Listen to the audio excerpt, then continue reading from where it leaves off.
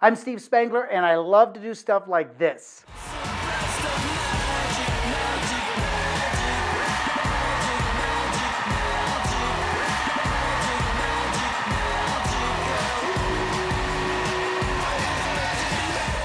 But there's no way I'd get invited as a science guy to get to do any of these cool things on television unless I could get found, unless I had an online presence, unless I had a body of work that people could examine online and truly understand and come to the conclusion that I was the expert that they needed in science education.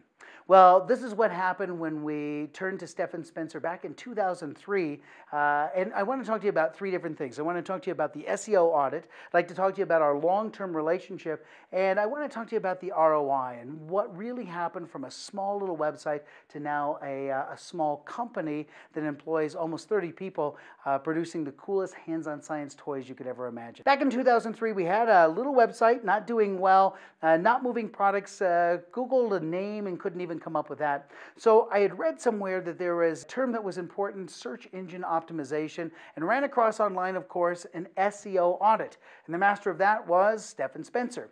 So we turned to him and asked what that would look like. And an SEO audit, I want you to think of it as a roadmap, a blueprint um, to be able to fix not only the issues, but to be able to plan for the future.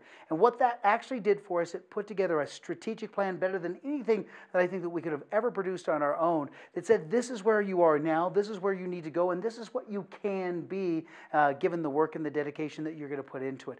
And that's exactly what happened to us. We changed our platform. We focused on all of the, uh, the uh, important pieces that that SEO audit provided.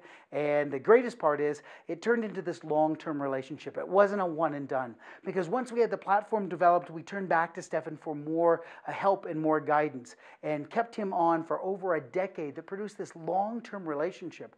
Here is somebody that truly understands what it takes to um, continue that uh, presence that you need online and to continue strategies to keep you relevant, uh, to have your content found amidst everybody else who's now caught onto the bandwagon and is producing content.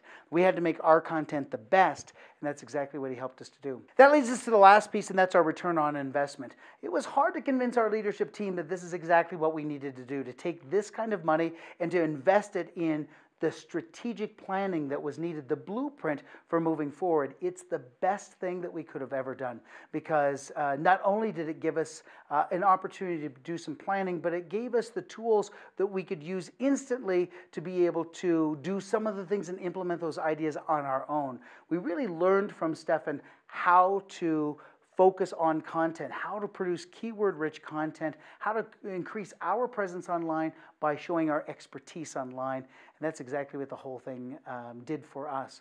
So, from a science teacher in Englewood, Colorado, turned to a television personality and now a founder of an e commerce company, uh, this type of, of relationship that we formed with Stephan Spencer and the long term effects are something that we're grateful for and uh, look forward to our future uh, engagement with him as we move forward and blow up something else, I guess.